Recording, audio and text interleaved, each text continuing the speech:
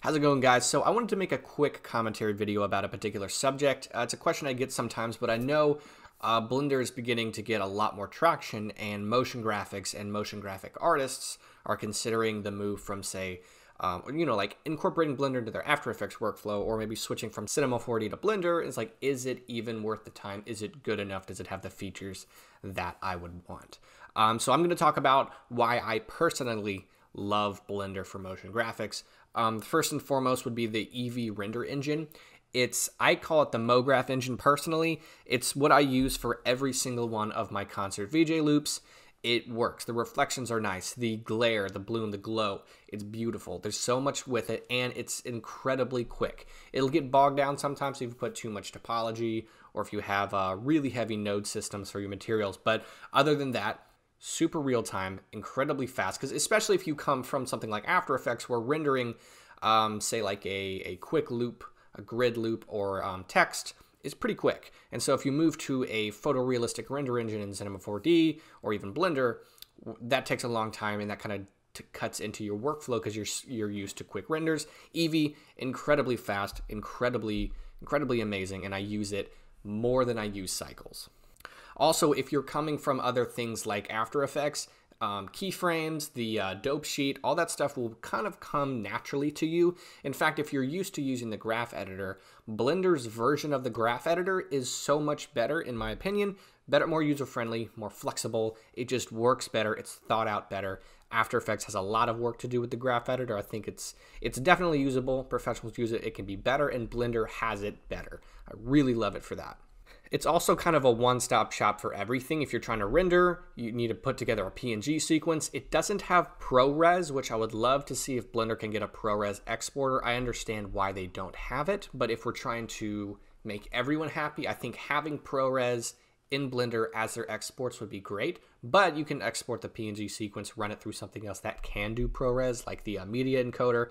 That's what I always do. Uh, but they do export in tons and tons of formats that work all the time. Like I said, one-stop shop, you have your compositing, you have your color grading, you even have a video editor in Blender, so if you don't want to pay for Adobe and you don't really know about any other editors, um, Blender has a beefed out editor, so you can edit your clips so you want to show a client how things look together.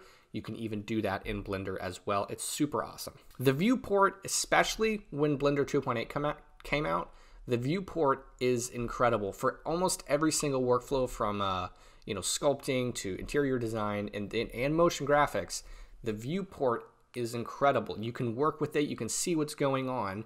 Uh, if you know what I mean by viewport, also has an incredible outliner. Everything there is much better. They have one of the best viewports of any 3D software at the moment. Blender, their community loves free stuff and they give away a lot of free stuff. There is tons and tons of plugins, or in Blender's case, we call them add-ons. And um, there's so many free add-ons that help you make really, really cool shapes um, textures, all that stuff comes with Blender that you can get. The community is super generous. It's one thing I really love about it. And on the subject of community, there are there are already some incredible motion graphic courses, one by Midge Sinnaeve. Incredible stuff there. You have one particular plugin called Animation Nodes is incredible. It's just it's it's so vast, it's so huge. I haven't touched it myself, but everything I see with the Animation Nodes add-on is just mind-blowing. It's almost like stuff you would see from Houdini. Crazy stuff. A couple of downsides I've seen so far in relation to my experience when I did use Cinema 4D, it's not quite as user friendly. The shortcuts, you have to sort of build everything yourself, which of course allows more uh, creativity and customizability. But when you're trying to work really quickly, Blender isn't your best friend if you're used to workflows that Cinema 4D would put out, really quick MoGraph tools. But if you're fine with working, if you're fine with doing the hard work to make something incredible, Blender's the one for you. It's uh, it can definitely be more user friendly, but the fact that it's not, it, it isn't because they haven't thought about it. It's just the features they make they want to be as customizable as possible, which gives you endless variety.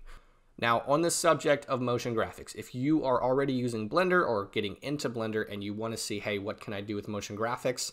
Um, again, I mentioned, of course, there's also, I released a product today in collaboration with Ezra Cohen. It's a bunch of assets that you can get, look at the project files. You're looking at the trailer for it right now, and I'll play it at the end as well, where you can go in and look at how I made these simple elements that you can add to a bunch of different really cool edits, your own stuff, go in there, change the colors, change the lighting. It's pretty simple stuff, but it gives you an incredibly cool result, especially with motion graphics. If you've done it for a while, you know simplicity is key. These are really striking graphics, but they're very simple, and so you can go in there, see how I made them, or you can use the ProRes exports and add them to your edits for concert visuals things like that. That product is available for you right now. You can check it out in the description. That being said, I hope you uh, got some information that you wanted from this video about, you know, is Blender good for motion graphics? My answer is absolutely yes. I use it every day. It's what I do for my job, and uh, I totally love it. So thank you guys for watching, and I hope you enjoyed it.